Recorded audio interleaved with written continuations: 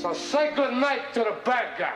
Pulling up the AutoZone for a seat cover Cause I got nut all over. Wasn't hard to discover Nigga at the counter was real disrespectful. Just that's for Judy Hopps Why he being so neglectful? I started to get angry when he said he called the police Told him I don't fuck with no bops and I needed to leave. I then stormed at the store and ran to the Tahoe When I realized my Draco was run low on some ammo Went back inside the store to blow off some steam. Grab that nigga by the collar and he started to scream. Slam that bitch on the counter and he started to bleed. That's when he realized that Ron's a different breed. Looked at his name tag and his name was Brennan Sane I got even angrier because I recognized that name. He then got an uppercut right in the Adam's apple. He was knocked out on the ground, he wasn't ready for a battle.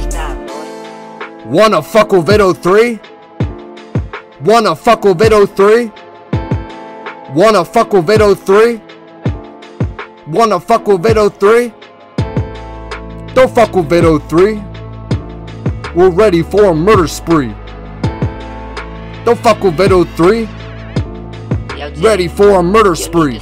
Bob Muggan Jocko in the store as an audience crouched by his body. Said that's what you get for cockiness. His bitch Sarah Simmons then pulled up to the store. Ran a train on that bitch. She definitely a whore. We then heard sirens coming from down the fucking street. Can't believe all this is happening because I had to ski. Waited patiently for the officer at the door. As soon as he walked in, I dropped him on the floor.